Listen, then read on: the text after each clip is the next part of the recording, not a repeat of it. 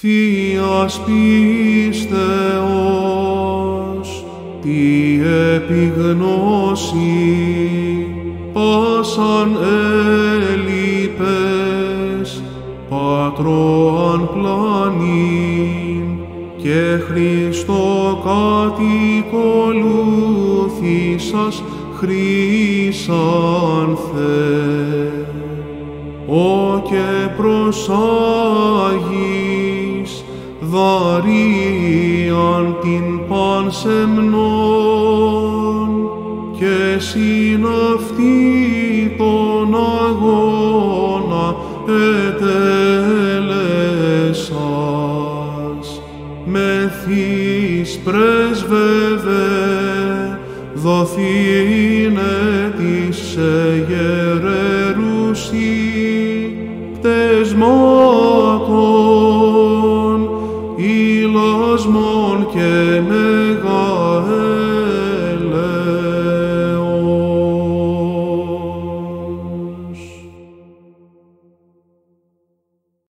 19 Μαρτίου Χρυσάνθου και Δαρίας των Μαρτύρων, Κλαβδίου και Ηλαρίας των Μαρτύρων και των τέκνων αυτών Ιάσονος και Μαύρου, Διοδόρου και Μαριανού Ιερομάρτυρος, Παγχαρίου Μάρτυρος. Οι Άγιοι Μάρτυρες Χρύσανθος και Δαρία έζησαν κατά τους χρόνους του βασιλέως Νουμεριανού και ο μεν Χρύσανθος ήταν ιός συγκλητικού άρχοντα της Αλεξανδρίας. Η δε Δαρία καταγόταν από την Αθήνα. Ο Χρύσανθος κατηχήθηκε στην χριστιανική πίστη και όχι μόνο έζησε ως καλός χριστιανός, αλλά και κήρυτε τον Χριστό όπου κι αν βρισκόταν.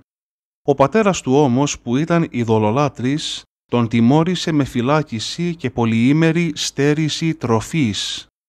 Επίσης έστειλε και έφεραν από την Αθήνα την Δαρία, μία πανέμορφη και πανέξυπνη αλλά και φανατική ειδωλολάτρησα, με την οποία τον νύμφευσε με σκοπό να τον μεταπίσει και να επιστρέψει στην ειδωλολατρία. Αντί όμως η Δαρία να πείσει τον Χρύσανθο, εκείνος την έπεισε να ζήσουν σαν αδέλφια και τελικά την έφερε στο σημείο ώστε να δεχθεί μόνη της και το Άγιο Βάπτισμα. Από τότε αρχίζουν να ζουν και οι δύο με αγνότητα και σοφροσύνη και να κηρύττουν τον Ιησού Χριστό. Το ζεύγος παρεδόθη στον Κλάβδιο, ο οποίος τους υπέβαλε σε βασανιστήρια.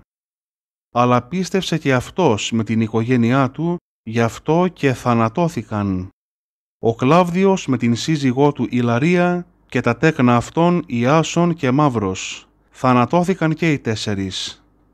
Έπειτα τον Χρύσανθο και την Δαρία τους έριξαν μέσα σε ένα βαθύ λάκο βορβορόδι, σε λάκο δηλαδή με ακαθαρσίες, όπου βρήκαν το μακάριο τέλος στις 19 Μαρτίου του έτους 284.